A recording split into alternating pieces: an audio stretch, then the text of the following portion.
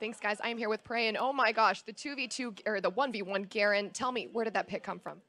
그 가렌 대 가렌 미러전이 어떻게 결정된 건지 말씀해 주세요. 어 원래는 좀 약간 원딜 챔프를 하려다가 그러니까 차라리 퍼니 챔프로 가자 그래가지고 이제 이제 합의 봐가지고 가렌으로 하게 된 것 같아요. Actually, at first we discussed to play a, a ADC versus ADC mirror match, but then we then decided actually let's play a funny match, funny matchup, and then we s- decided to play Garen eventually. Was is that your favorite champion, or is that just like the meme that you wanted? 가렌이 그냥 나온 건지 혹시는 뭐 원래 좀 즐기던 챔피언인지 뭐 그냥 재미용 뭐 짤 만들기 위한 그런 챔피언 한 건지 말씀해 주세요. 어 일단 뭐 서로 일단 재밌는 pick이라고 생각했고 일단 레클레스 선수도 그렇고 저도 그렇고 거의 한 몇 년간 안 쓰던 챔프여서 더, 더 재밌겠구나 해서 그냥 좀 클래식한 챔피언으로 했던 것 같아요. I mean, we both thought that Garen would be a very interesting champion to play, and since we both didn't play Garen for like a- like a lot of years, we thought that bringing back the classic would be a lot, really fun to watch. Well, I know the fans loved it, and they had a lot of fun watching, and it looked like you had a lot of fun playing it. How has your overall All Stars experience been so far?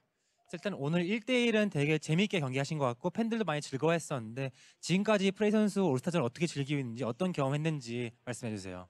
아 뭐 되게 즐기고 있고요. 일단 오늘 1대1 가렌 매치에서 네, 이겨서 좀 더 기분이 좋은 것 같아요. I've been definitely enjoying All Stars a lot, but by winning today's 1v1 Garen match, it just made my experience much more better. Wonderful. Well, you play Uzi tomorrow. Do you have any thoughts on that matchup? 내일 이제 우지 선수랑 1대1 붙게 될 텐데 어, 혹시 어떤 뭐 전략을 짜고 있는 게 있거나 그런 게 있으신가요? 어 아마 우지지 선수는 약간 좀 퍼니한 것보다는 되게 약간 정통파 1위를 또 노리는 친구일 것 같아서 그냥 뭐 저도 열심히 해서 그냥 원딜 챔프를 이렇게 대결할 것 같아요. I think Woozy will be rather go for a more serious matchup and he'll aim for the championship. So I don't think we're gonna have a funny champion matchup. So I I think we're gonna do a classic ADC versus ADC matchup. Perfect. Well, thank you so much for this interview, and I wish you the best of luck tomorrow. We're going to toss it over to our friends at the desk.